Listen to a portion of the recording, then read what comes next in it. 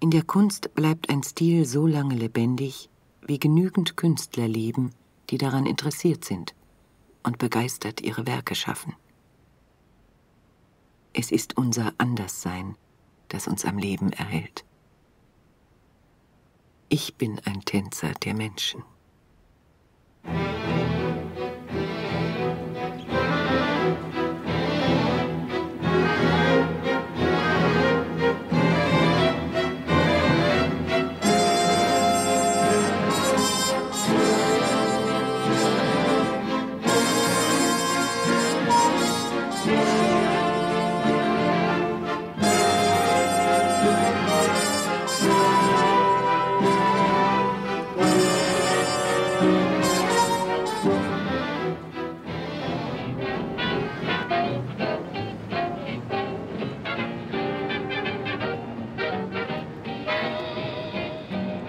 Wigman war Tänzerin und Choreografin.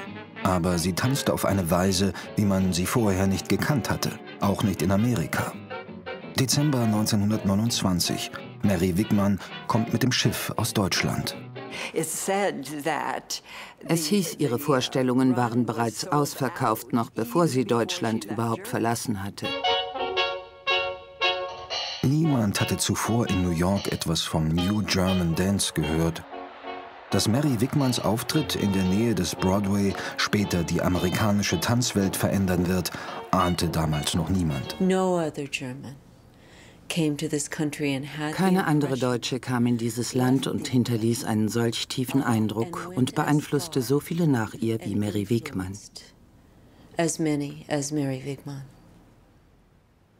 Es schien, als ob alle Journalisten des Landes auf mich einstürmen würden. Es gab Tage, an denen ich aufwachte und fürchtete, einen Fotografen unter meinem Bett zu finden.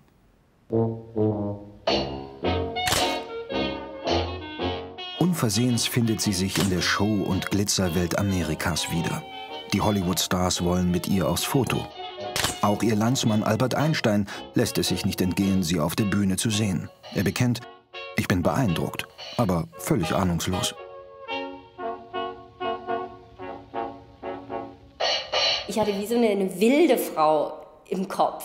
Also so eine, ähm, also nicht so was Feines oder auch nicht wirklich was Elegantes, sondern eine Frau mit einfach sehr viel Kraft. Wigman was ich denke, Wigman tanzte aus ihrer Seele heraus. Sie wollte nicht nur aus dem Tanz selbst schöpfen, sondern erforschen, was der menschliche Geist überhaupt ausdrücken kann. Die Carnegie Hall. Wer es hier schafft, schafft es in ganz Amerika. Am Abend steht Mary Wigman auf der Bühne. Angekündigt ist sie als die hohe Priesterin des Tanzes. Ganz allein, nur zum Rhythmus einer Trommel, soll sie sich dem amerikanischen Publikum stellen. Ihre Lieblingsgeschichte war immer große, das große Lampenfieber, was sie hatte. Und dass sie dann hinter dem Vorhang äh, stand, geschlossenem Vorhang, und dann so gezittert hat und jetzt einfach wusste, entweder geht es aufwärts oder runter.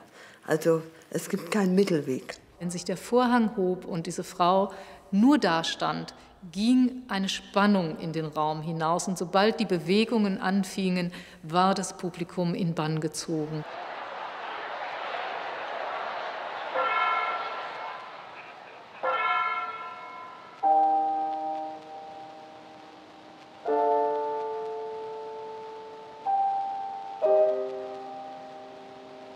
Tochter eines Fahrradhändlers aus Hannover betritt die Bühne. Allein, barfuß und nur auf die Kraft ihres Ausdrucks vertrauend, erobert sie die Carnegie Hall. Und von hier aus ganz Amerika.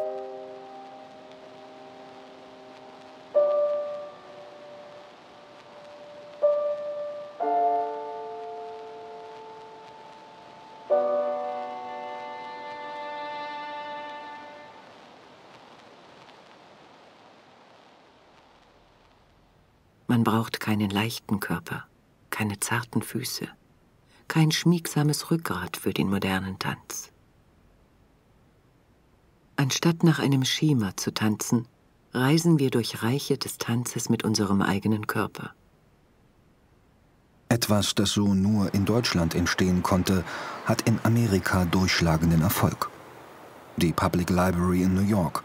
Hier findet man auch heute noch die Spuren, die Mary Wigman hinterlassen hat. Im Archiv hat sie einen festen Platz als Pionierin des modernen Tanzes.